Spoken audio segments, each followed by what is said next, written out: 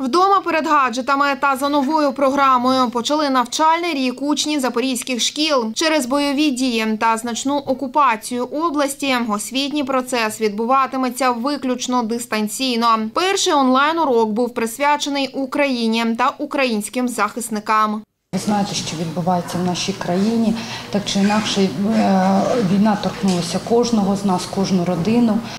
Світлана Приходько, вчителька української мови, літератури та зарубіжної літератури, розповідає, через військову агресію Росії змінився підхід до навчання.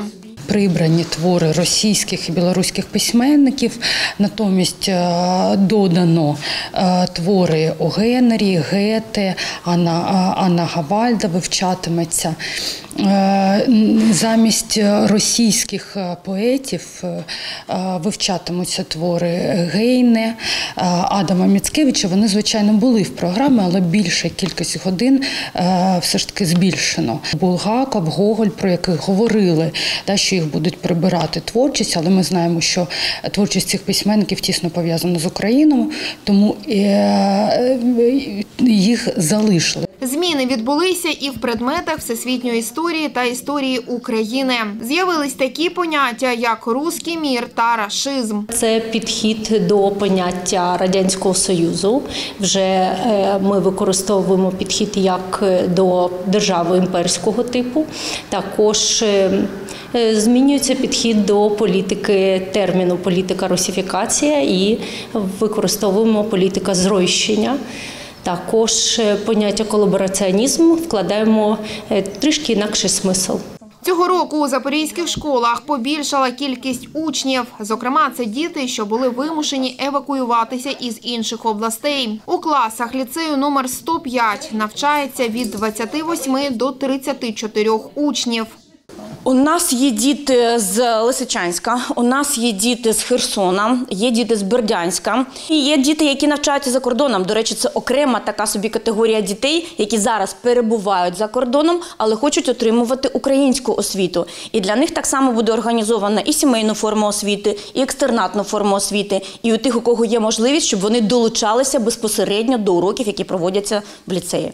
За два з половиною роки ковідного карантину вчителі звикли працювати дистанційно та вже вибудували зручну форму, каже директорка закладу Ілона Закутна. Він заходить в систему, бачить те, що ми, тобто зеркально бачить, і в нього урок перший фізика, відкриває перший урок фізика. Да?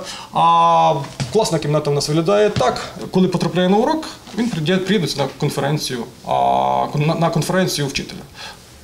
Клікнувши всього-навсього на одну кнопочку приєднатися. На вкладці завдання вчитель викладає матеріал в своєму вибудованому хронологічному порядку. Він бачить відкладку матеріалу, причому тут можемо додати абсолютно все. Як а, локальні файли з комп'ютера, які підготовлені вчителем, так віддалені файли, це можуть бути посилання на Google, а, ну, на YouTube.